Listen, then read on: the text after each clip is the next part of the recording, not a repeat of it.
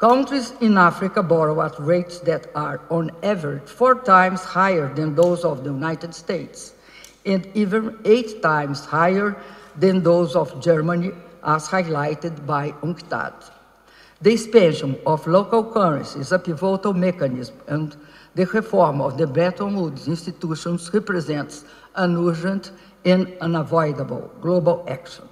New finance and new investment platforms, such as NDB, the Islamic Development Bank, the African Development Bank, and the Belt and Road Initiative are crucial to address these issues. So, to act together, let us act together to build a new architecture. It's needed to us and to channel available liquidity to enable finance on the scale and under the conditions required by the Global South.